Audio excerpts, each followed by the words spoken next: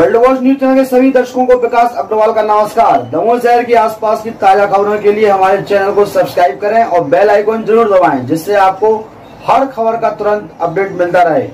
आइए नज़र डालते हैं बड़ी खबर। दमोह ज़िले में लगातार प्राइवेट एम्बुलेंसों के द्वारा मनमानी करने के आरोप सामने आते हैं। ऐसा ही मामला आज सुबह देखने को मिला, जहाँ दमोह के तिदुआ सड़ाले निवासी युवक को सर्प के काटने के बाद सुबह पाँच बजे जिला अस्पताल में लाया गया, जहाँ डॉक्टर ने उसे जबलपुर रेफर किया।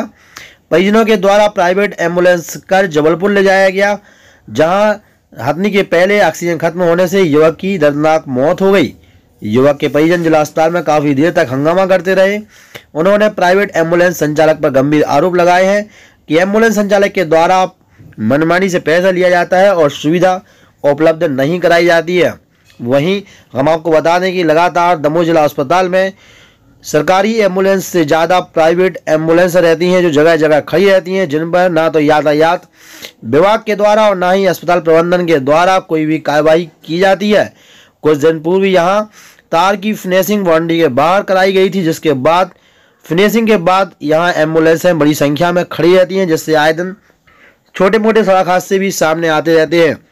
अब देखना यह है कि इस घटना के बाद प्रशासन नींद से जागता है या नहीं वह अस्पताल प्रबंधन या एंबुलेंस संचालकों पर किसी प्रकार की कार्रवाई की जाती है या नहीं, भले ही शिवराज सरकार के द्वारा करोड़ों रुपए की एंबुलेंस चलाई जा रही है, लेकिन आम जनमानस तक इनकी सुविधा उपलब्ध नहीं हो पाती और उन्हें प्राइवेट एम्बुलेंसों के माध्यम से ज़फ़र होना पड़ता है, जिसके आए दिन खामियाजे भी आम जनता को भुगतने पड़ते हैं।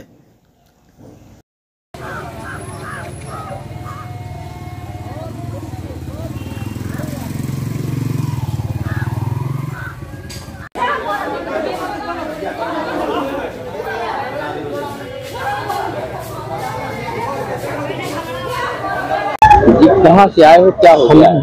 इंडिया से अड़ाले से आए। हम में भर्ती कर रहे भर्ती से तो हमने कहीं जबलपुर ले जबलपुर ले जा रहे थे। हथनी मिल के एंबुलेंस हथी प्राइवेट करी। तो उसमें कहा दो ऑक्सीजन थी हथनी लोग पहुँचे। कहते यहाँ गली में खत्म हो लड़का की सांस रुक गई। फिर दूसरी बुलाई, हम जम्मू फिर अस्पताल आ गए। जब गाड़ी गई, दूसरी ऑक्सीजन लेके वो तो काम होगा जब इसे फिर ले आए यहाँ। यहाँ सो भाव सर पैसा मंगाए पैसा लाए डीजल लगा पैसा भी पाँच है सब पकड़ाए हो कितने पाँच हज़ार रुपया तक के हमने दो महीने सर पाँच दो हज़ार का डीजल लगवा भी जाए क्या हो गया था बच्चे को? सांप ने काला था सर। कब लेके आए थे हॉस्पिटल आप? सवेरे पाँच बजे। डॉक्टर ने क्या बोला था? डॉक्टर ने क्या बोला? डॉक्टर ने हम लोग तो बाहर आए सब घुसन नहीं देते ऑक्सीजन भी लगी थी। बाहर ही बाहर फिरत रहे। खत्म कहाँ पे हुए हैं? हथनी के थे। हथनी की किसको हैं आप हम तो एक सौ आठ गाड़ी ले गए जो प्राइवेट एंबुलेंस हाँ। ऐसे गाड़ी हथी ने और लगाई थी। बाहर तो खड़ो कर हम जहाँ का उतर लेकर चल रहे उतर लेने जा रहे चलो लेकर जा रहे थे चलो टंकी भली हमारे से लेने रखो फल भरो। उतर लगाओ दूसरो लगाओ उसमें खा लिया तो कह लो कुछ नहीं है। हमने कहा हम ले आए तो हमने गाड़ी नहीं दी और चल हम लगा रहे फ़ोन। सरकारी एंबुलेंस को कौन नहीं लगाया फ़ोन नहीं लगाओ। लगाया तो, तो कोई वाहन नहीं दू ऐसे क्या नाम है आपका? भैया लाल